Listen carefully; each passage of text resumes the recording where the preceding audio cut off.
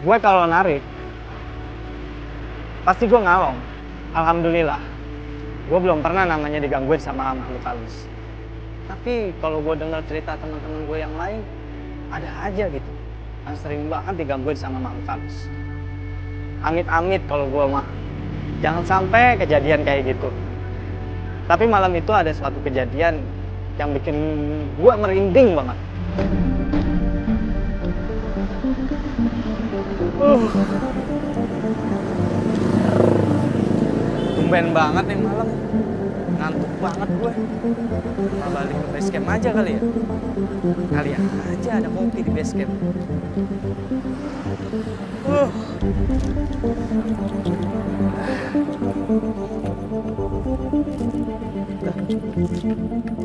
Set, base camp sepi banget. Tumben-tumbenan. Udah kayak kuburan nih base camp. Lah, aduh, pada depan ah. Sepi banget base camp, pada ke mana ya nih anak-anak? Ah. Ah, jangan-jangan pada nongkrong di luar nih. Tapi kok kagak ada yang ngabarin gue di grup sih ya?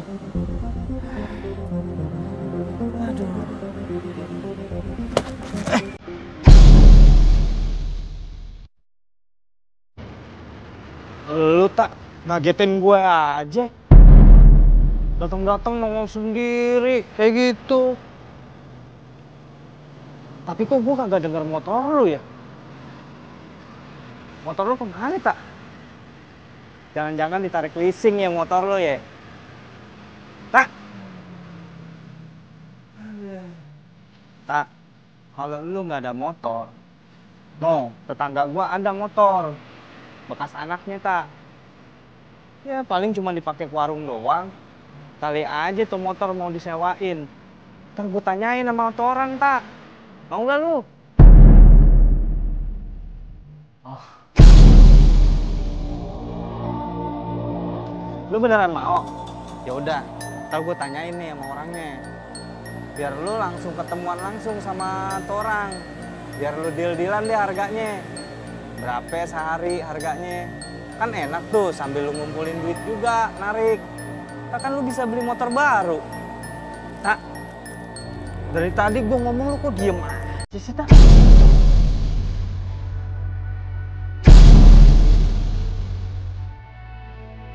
Kak, lu lagi sariawan ya? Kenapa? Kak, anak-anak pada ke mana sih nih? Kok lu nggak tahu sih? Kok dia minter-minter aja ya paling? Ih, bingung. Ini jadi merinding ya? wanginya ya. Kok serem nih? Kak, lu mau ikut ke warung nasi goreng Membang dulu kan, Kak? Ayo buruan. Sekalian kita nyari kopi. Tak. Eh, lu pakai helm.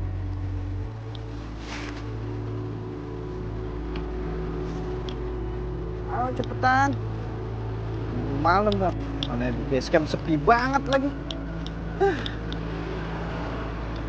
emang teman saya ini agak pendiam banget tapi malam itu dia agak beda malahan banyak diemnya biasanya juga kalau ditanya jawabannya dia paling iya atau enggak mungkin saat itu dia lagi kepikiran sama motornya ya kalau dipikir saya sih kayak gitu makanya saya ada inisiatif buat ngajak dia makan nasi goreng siapa tahu dia mau cerita. Eh, Genta, lu udah kabarin orang tua lu belum? Kalau motor lu ditarik sama leasing.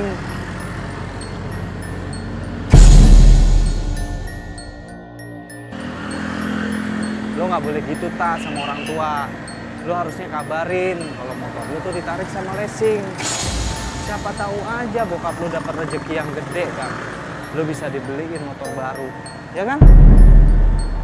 lu tuh harusnya cari perhatian lah sama orang tua ya namanya orang tua kalau punya rezeki mana ada sih yang nggak kasihan sama anaknya ya kan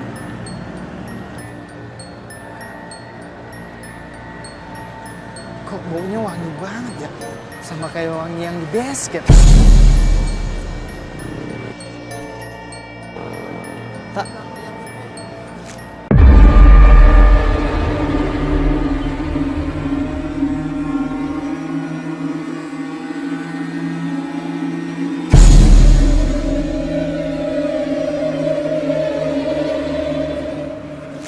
Lo kenapa sih, Tak?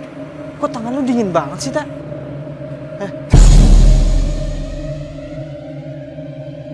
Kok dingin banget sih? Lu kayak nggak biasanya nih, Tak. Lu masuk angin apa gimana sih? Tak. Tak. Ah. Bang Dul, Ya, nasi goreng spesial ya dua. siap. Pedes nggak? Ya kayak biasa lah Bang Dul, pedes dua-duanya. Siap. Udah duduk aja dulu. Iya Bang.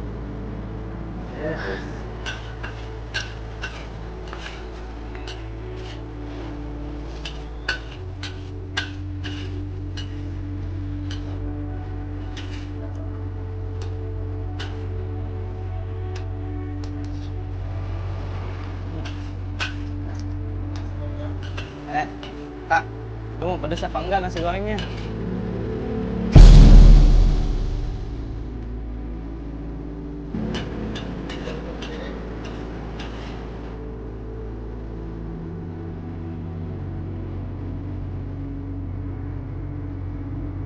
Beneran nih? Lu mau pedes?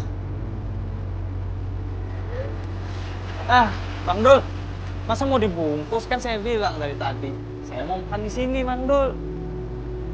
Dua-duanya. Ya iyalah dua-duanya, masa satu.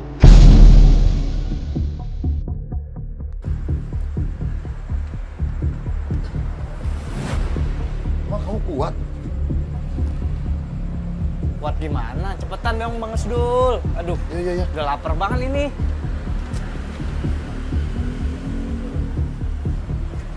Emangnya habis untuk ngabisin sendirian?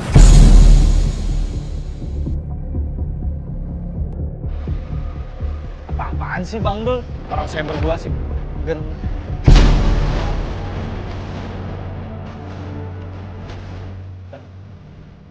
Tadi yang si Genta di sini Bang Dul. Kan saya datangnya ke sini sama si Genta tadi berdua. Gentak. Iya, Genta.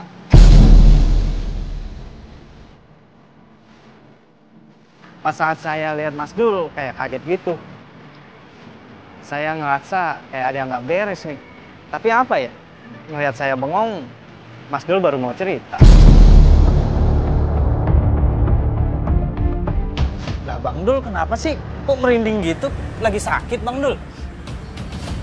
Bang Dul kenapa? Tadi siapa? Genta.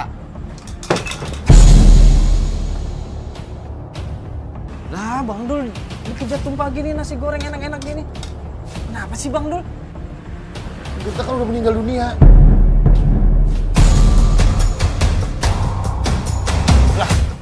Bang Dul ada-ada aja.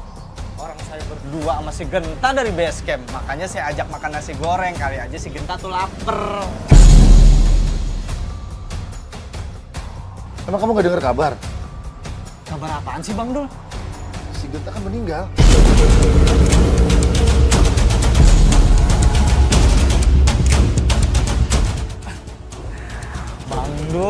Bercandanya kayak gitu banget. Si Genta itu kan teman saya, Bang Dul. Masa disumpahin meninggal? Kan saya itu dari base camp itu berdua datang ke sini sama si Genta mau makan nasi goreng. Kali aja si Genta lapar, makanya saya pesenin dua, pedes dua-duanya. Ada-ada aja Bang Dul bercandanya. Huh. Tapi benar, emang si Genta meninggal. Tadi jam 7 malam, terus dia juga bawa penumpang perempuan. Mati di tempat.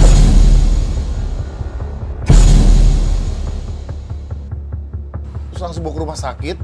Anak-anak basecamp juga pada ke sana semua. Bang Dul seriusan nih? Serius? Nggak bercanda? Enggak. Pantesan aja tadi tuh di base camp sepi banget Bang Dul. Kok anak-anak nggak ada yang ngabarin saya ya di base camp? Ah, gimana sih? Innalillahi wa inna ilaihi rajiun. Genta, genta. Ya udah Bang Dul. Emang sekarang ada di rumah sakit mana sih Genta, Bang Dul? Tadi sih katanya dengar-dengar di RSUD. RSUD. Iya. Ya udah. Kalau gitu saya langsung ke sana aja deh Bang Dul. Eh, ini gimana? Kasihan si Genta. Ah, ntar aja, udah bungkus aja dulu Bang Dul. Ntar saya balik lagi ke sini. Udah bungkus, bungkus. Saya Iya. buru-buru Bang Dul. Iya, ya. iya, iya. Ya, Pak Genta. Gue gak nyangka kalau lu udah meninggal.